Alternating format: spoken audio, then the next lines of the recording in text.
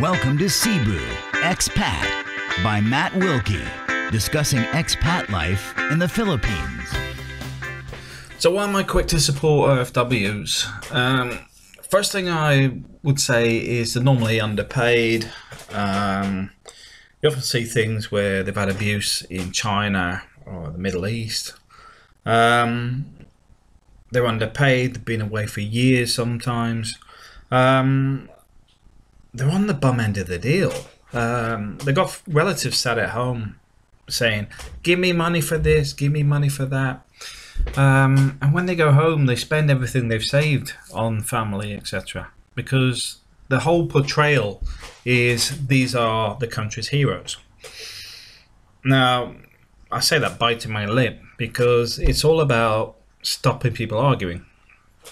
First thing you've got, if, if a country says you're a hero, you can't really throw it back in their face when you're being exploited as cheap labour.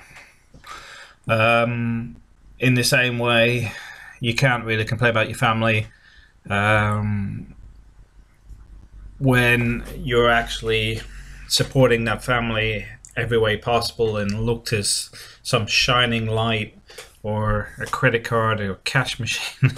um, but the reality is, OFWs have frustrations, but they can't air them.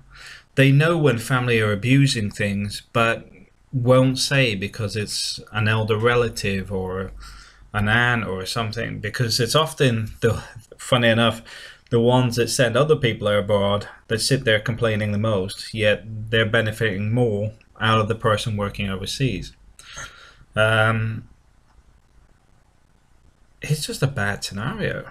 That's why I, you know, I'm quite happily give a voice. I get, I do get some abuse for some of the stuff I do say, which is uh, basically the uh, families need to get a grip and get off their backsides. You know, a lot of families are just sitting around on the in the Philippines because they send like one abroad, and then ten people sit on their backside, um, living off them.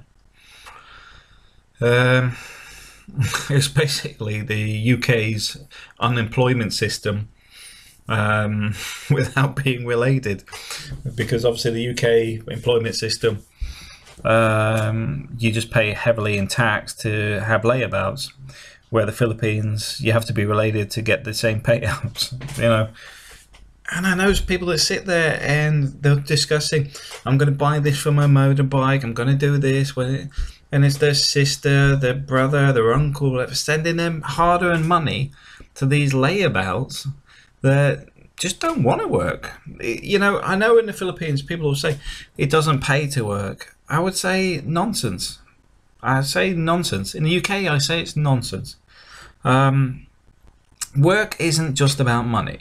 Work is about self-respect, dignity, pride, standing on one's own two feet, um, and ethics. And a lot of people don't have those because they're living on handouts.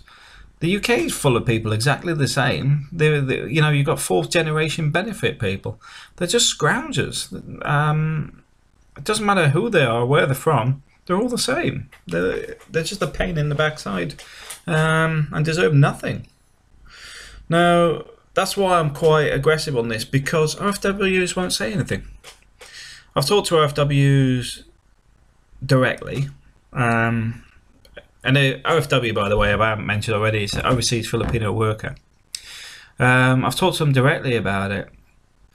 And they'll talk to me about their frustrations and agree with what I've got to say and actually put some input saying what makes, you know, what, what their grievances are. And they can see that they're never going to retire because their family are robbing them blind to the point that they can't invest in their own homes. They can't invest in their own family. Um, and I've seen it in the UK where everything's sent home, so the family in the UK is riddled with debt. They're just keeping above the, um, well, they're pretty much on the poverty line. They're waiting for the door to knock for bailiffs. They, are, they have nothing, yet the family are like, give us money, give me money. The family can go to hell. Um, and that's why I'm quite strong on it, because I see what these people do to OFWs. Um, and the other side of this, I was watching, I was talking to an Indian about, guy about this because um, it's quite common there for suicides when people go back home. Because what happens, all those years you're in OFW or you know you're working overseas, so here you are, send all your money home, you go home, you're the greatest guy going, everybody celebrates you, they all come and see you when you arrive because you're paying for all the meals and all the parties and the drinks, and then eventually you go home to retire.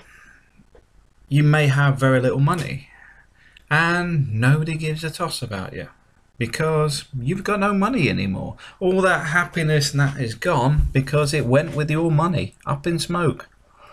Um, so yes, I support OFWs um, a lot more than a lot of families do because I think they deserve a lot more respect. Um, people that are that committed to do whatever it takes for their family deserve a lot more out, out of their families. They need to learn to appreciate what they have because these people work bloody hard.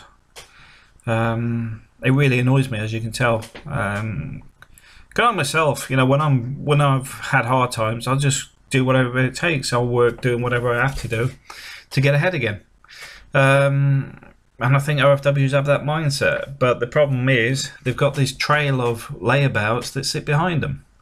Um, now I know there is some positives and I know even um, the expats have had the layabouts from the Wise family.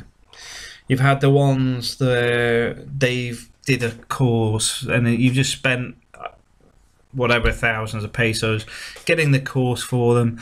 They've done a week from some. I don't really like it, so I'm not going anymore because they didn't pay for it. They don't appreciate money. It's not their money. Why would they be bothered? And that's what comes from actually having a job. It doesn't matter if the job only pays 6,000 pesos a month or 20,000 pesos. The whole point is work ethic, responsibility, respect, dignity, and respecting the people around you. And it comes from putting some effort in. When it's all freeloaded, they don't value nothing. All right, thanks for watching.